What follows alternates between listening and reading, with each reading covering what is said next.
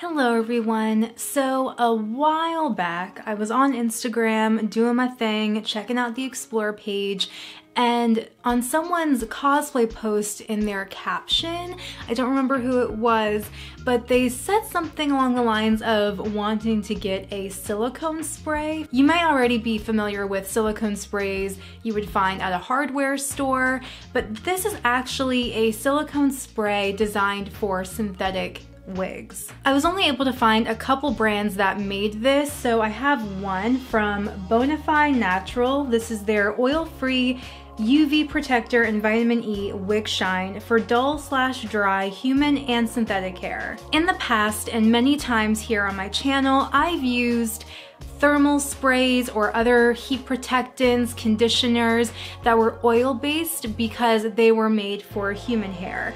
And while those did do their job, sometimes if I used too much product, the hair would get a little bit greasy, heavy, so it would be great having something that was lightweight but still softening and could make things a little bit more manageable. I really wanted to try this for the first time with you guys, so let's just get right into it. So the wig I'm using today is the one I used for my Lily cosplay. This is Arda Wigs Venus in the color Champagne. I thought this would be the perfect candidate for a silicone spray because look at the length.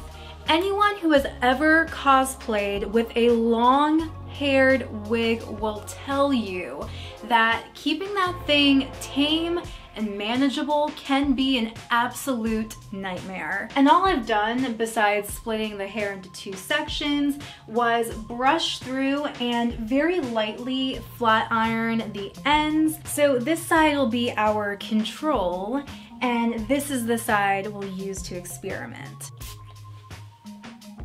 Ooh, what does it smell like?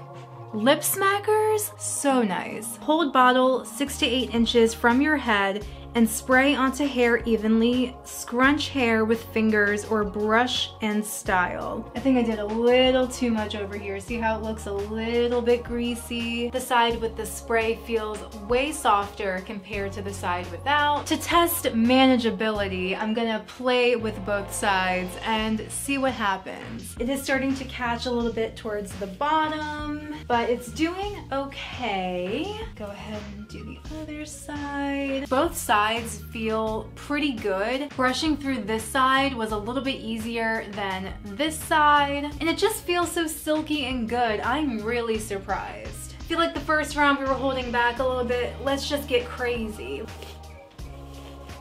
Oh, okay. It's getting a little caught on the bottom, a little bit of pulling. All right, Ooh. So we got a little bit of a knot, or a tangle, I suppose. Gently using my fingers. So even though the side with the silicone spray isn't necessarily tangle proof, I feel like getting those tangles out was a lot easier than trying to do it on this side. Overall, I like it. I think it's nice. It works well. I'm looking forward to giving this a try at conventions and photo shoots. I think it'll do a really nice job with managing those fibers. As always, I will leave a link for this down below. And let me know what you guys think. Have you used silicone sprays before? Could you tell a difference? Thank you guys so much for watching. Please give this video a thumbs up if you enjoyed it and found it helpful. And subscribe to my channel, Tara for Your Wellness, for more videos like this and other fun things. And until next time, please take care and stay well. Mwah.